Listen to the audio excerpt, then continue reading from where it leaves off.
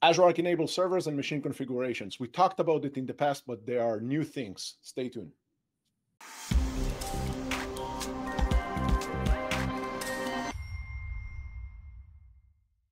Hey everyone, Lior here with another Jumpstart Lightning episode. I'm excited to have Jodi here with me to talk to me about all the new things that are coming with machine configurations with Arc enabled servers. Jodi, how are you doing? I'm great. Thanks, Lior, for having me. Yeah, I, you know, you and I have been talking for a while. We wanted to have this episode of Jumpstart Lightning, and I was waiting for that. Jodi, today you're here to talk to me about all things machine configuration. But before we do that, who you are, what is it that you do? Yeah, for sure. So my name's Jodi Boone, and I'm the PM on the machine configuration service, um, and I'm based in Redmond, Washington. Jodi, machine configuration. First of all, you know, it's a question that I like to ask all my audience when, uh, or sorry, all my guests when, you know, when they're coming to the show, especially the product managers. And I wanted to ask you, what's the motivation here around machine configurations and and, and Arc-enabled servers? Yeah, that's a great question. So you know, when we think about machine configuration, what we're really trying to do is make it easier for people to configure their guest operating systems from mm-hmm. the Azure control plane. You know, and this is something that we've seen, especially for customers, you know, managing hybrid uh, hybrid server states on-prem servers, servers in mm-hmm. the cloud, servers at the edge.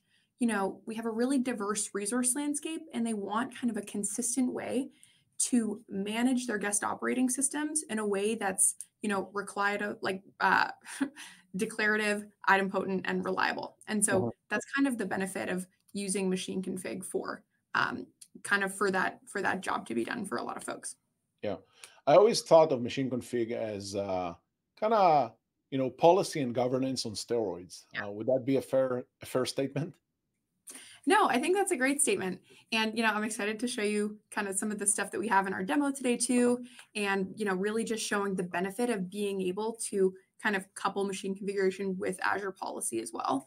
Mm-hmm. Um, because, you know, when we're talking about uh, wanting to configure your operating system settings at scale, usually this is for a pretty large um, number of servers. We're talking about like at scale management and governance. And so that's where Azure policy really brings in a ton of value into the space too. So, Jodi, I was excited when you told me that today you want to show some some Linux stuff because you know I'm a Linux kind of guy. Uh, even though I I know my ways around Windows, but I you know I started with Linux. So, talk to me about all these new cool things that you guys are working on. Yeah, definitely. So, one of the things that I really like to talk about with machine configuration too is that machine config actually represents the first generally available platform to deploy. DSC at scale for Linux. So we haven't really gotten there all the way previously um, in previous implementations. And so that's where we're really excited to kind of continue to um, make it easier for Linux customers to use mm-hmm. machine config as well as PowerShell um, and DSC, which is desired state configuration for those of you who haven't heard of it before. So Linux is really our kind of first stab of lowering the barrier to entry to authoring your own custom configurations to be mm-hmm. deployed at scale using machine configuration and policy.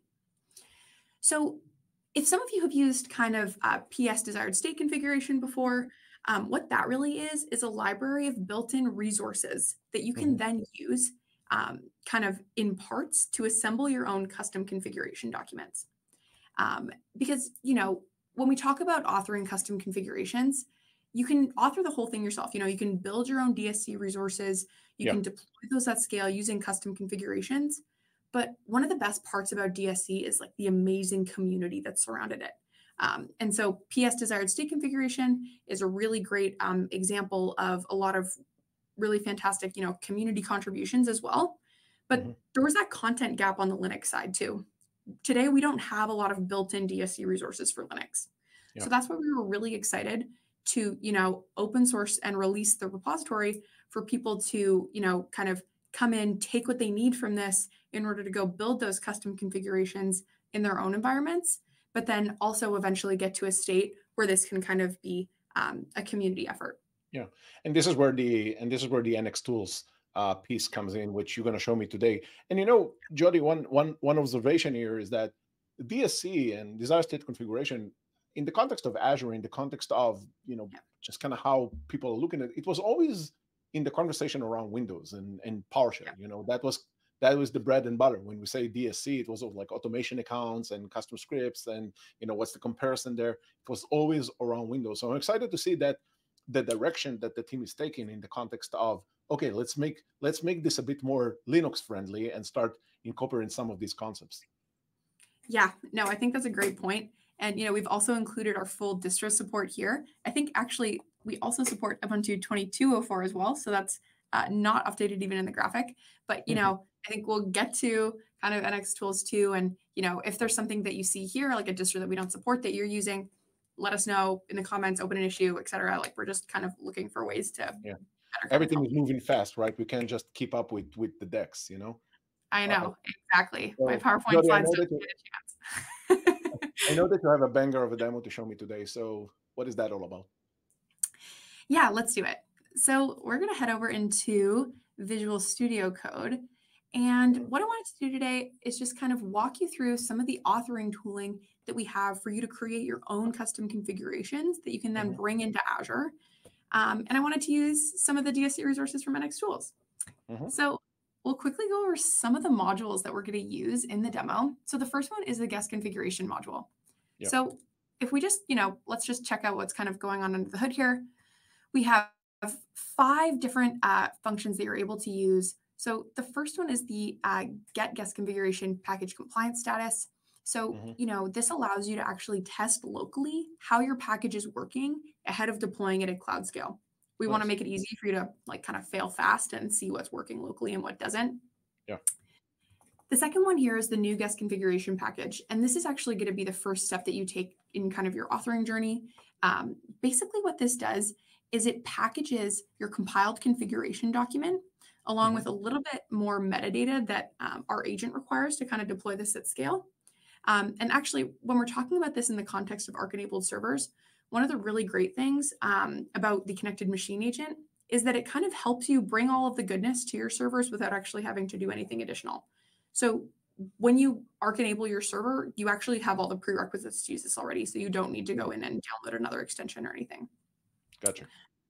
Um, the third one here is the new guest configuration policy commandlet. And we're really excited about this one too, because, you know, in terms of being able to go from like code to cloud, I guess, mm-hmm. you have to mm-hmm. author your configuration document, author your package.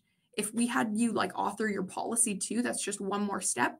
So this commandlet actually generates the Azure policy definition that you can then deploy to your resources too. So we'll take a little bit of a look at um, mm-hmm. kind of how that works too. Uh, the protect guest configuration package commandlet allows you to assign that configuration package um, ahead of uploading it to your publicly accessible storage account.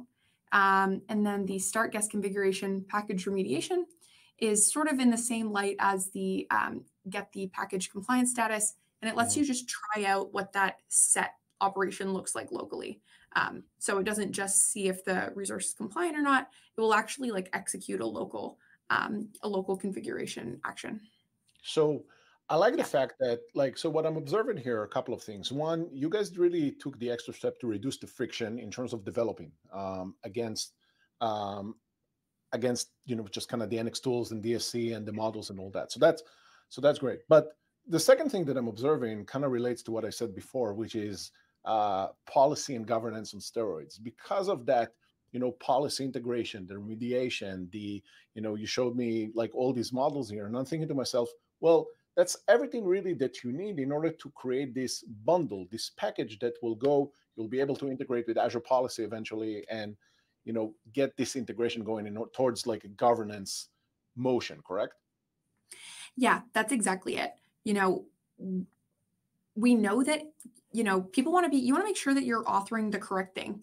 When you're yeah. talking about, you know, at scale configuration of your guest operating system, we want to make sure that it's declarative and you know repeatable so yeah. if any changes are made we want to make sure those are tested before they're deployed but then at the end of the day once something is you know tried true and tested we want to make it as easy as possible for you to actually get the value of an at scale deployment too so yeah, yeah you hit the nail on the head I like this notion of inner loop for for guest config. You know, it it's not something that it's not something that I guess people that's been in the game for long enough when we were doing um, i guess when windows admin were used to do like stuff like GPO and and and all of that, it was a bit harder to. And even in Azure, right, it was hard to test those things in a in an inner loop fashion. You had to go develop the thing, deploy that against some sort of test resources, and then you know pray to the you know to the DLL gods that this will work. Um, so yeah. Yes. All right. Exactly. So, you know, we feel your pain and we're trying to help. so awesome. awesome. So let's just take a look kind of at what it'll look like when we want to actually use the nxtools, uh, nxtools module. Mm-hmm. So if we head over into the PS uh, config file, what we can see is that we first need to, you know, import the module here. And then from there, we want to make sure that, uh, well, here, let's just talk about what we're going to do first. So this mm-hmm. configuration is going to use the NX file resource, which will, you know, ensure that a file is present. If it's not, it'll create that file. So, you know, let's say that this is um, like a networking config file or something like that. Um, mm-hmm. And it was deleted off like a local instance by mistake. You know, yeah. our agent runs scans on the hour. Um, and so you can be in, like reassured that within that hour, that file will again, you know, be created um, yep. And you can also verify the contents of that file as well. Yeah. Mm-hmm. So when we look at it for this example, we're just going to do kind of a, a simpler example and we're going to talk about how Jumpstart is awesome. um, yeah, I, did, and, I just want to say to the viewers, I didn't tell you to put this. This is this is all you. You know, just a full disclaimer. I know. I knew the audience, so yeah. so all right. what we're doing is creating a configuration called Jumpstart config. Mm-hmm. And then we're going to create our localhost.mof file um, using the Jumpstart config path. So this is actually a, um, a class-based configuration document. Mm-hmm. So we'll just go ahead and run this. So what is happening now? One, you know, once you you uh, you hit the compile there, or you know, just kind of running those commands. What's what's happening in the background? Yeah. So what's happening in the background is this configuration is actually um, it's compiling. So at this point, if there was anything wrong with, you know, your reference to that DSC resource, or mm-hmm. um, you know, it required like a a strong type or something like that, um, this again mm-hmm. would allow you to kind of fail fast ahead of you know putting it into your configuration package to deploy yeah. it. Okay. And then ultimately, the output here is this localhost.mof file. So this is kind of the metadata that our service uses to make sure that you know all of the um, prerequisites are there. It has your file mm-hmm. contents um, as well as some other kind of information that will be required to run this. Got it. Cool. So now you have your compiled configuration document. You know, how do we actually go from that to the package that will eventually be your Azure policy? So we're going to go ahead and run the new guest configuration package commandlet. And so what that does is basically package your compiled configuration document along with all of the dependent resources. So mm. that NX file resource will be like captured in the package as well um, so that you know all of your dependencies are kind of nicely kept um, nicely kept in the same location. I'm going to go ahead and you know save in a variable the demo resource group that I want this policy to end up in eventually. And I'm going to create a new storage account actually to upload this package to. So I'm going to go hmm. ahead and create a new storage account as well. And eventually what we're going to do is upload this package that we just created into a container in blob storage. And today, you need to um, give our agent sort of the minimum permissions uh, in order to, to have access to your configuration content, um, which is just read only. Mm-hmm. So we'll go ahead and get some other metadata that we need to actually complete that operation. Oh, this command sometimes takes a while. So we'll just kind of look at the next couple of commands as well. So we're going to grab the key for my storage account as well as the context. So kind of the metadata of the storage account that's required yep. um, to complete this operation, which is really what we're interested in. So we're going to be uploading that uh, zip file that's our configuration package to the storage account that we just went ahead and created. Um, so it. that's the reference that will end up giving our Azure policy definition so that um, you know we'll be able to continuously monitor that at the one hour interval uh, reporting compliance back to the Azure policy definition. So we can see that the storage account was successfully created. And now we'll go ahead mm-hmm. and upload that content package as well.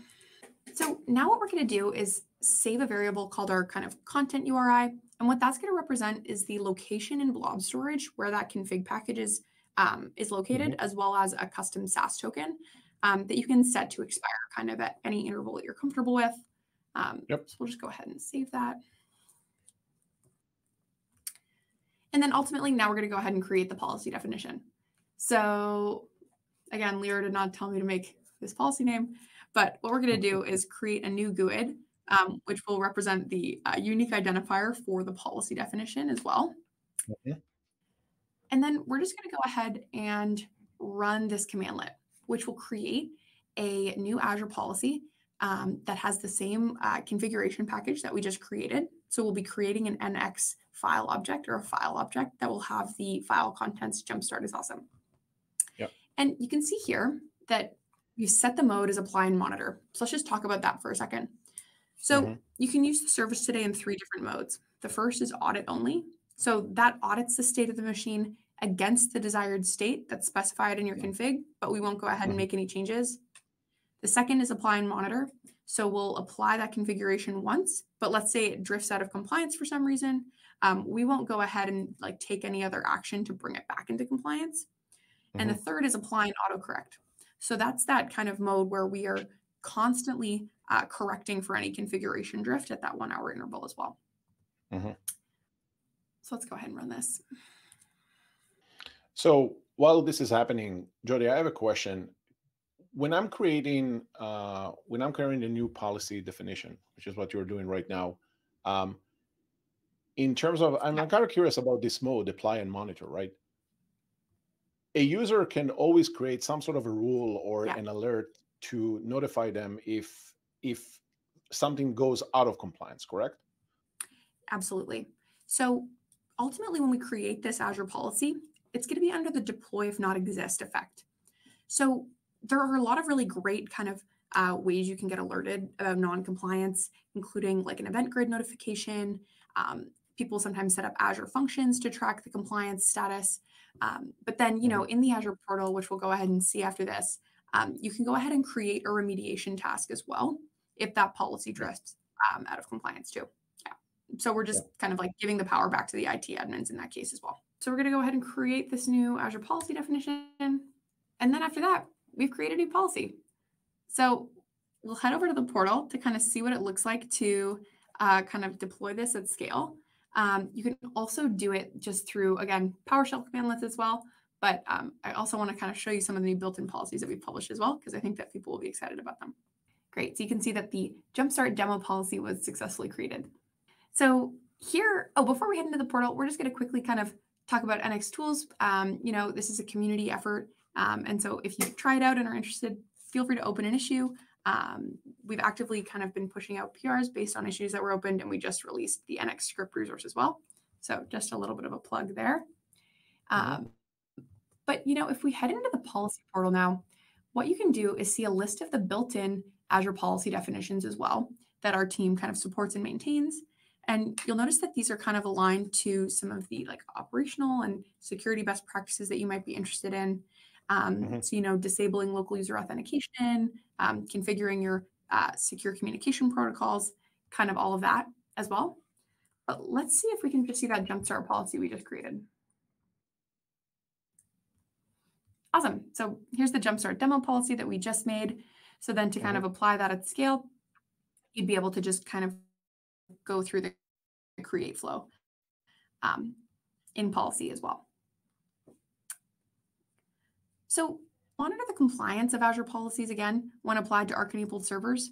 I do also just want to point out that we have um, a custom UX for you to actually see exactly what's going on kind of in your guest operating system within the Arc-enabled server uh, portal. So if you go under operations to machine configuration as well, you can kind of see all of the different configurations that are currently monitoring your guest operating system. So when you click into this, for example, you can see kind of a brief compliance message that outlines either the reason for compliance or non-compliance as well. So if we click into this policy uh, for the Linux log analytics agent being installed or not, you know, you can see that this server is compliant and it's because the log analytics application is installed. Um, and for other built-in policies, including, you know, TLS and being able to set your secure communication protocol, it will tell Yep. you, you know, what um, like what version of TLS or SSL you have enabled. I like the uh, I like the fact that you know with machine config everything is very uh, you know it's it's custom oriented, but it's also um, speak the language of Azure policy in a sense. You know if that if that makes sense, um, because for for folks that are looking at Azure policy for the first time, it can be somewhat overwhelming because there's a lot of things, right? Um, but I think that with machine config, because of the fact that the language is a bit easier and it's all declarative and all that. Um, and I was honestly, I was positively surprised by the fact that you know with nxtools and you know the the metadata, the schema feels very natural, you know, from coming from that from that space. But yeah, I mean, it seems very very seamless, very frictionless. Yeah, that's our hope.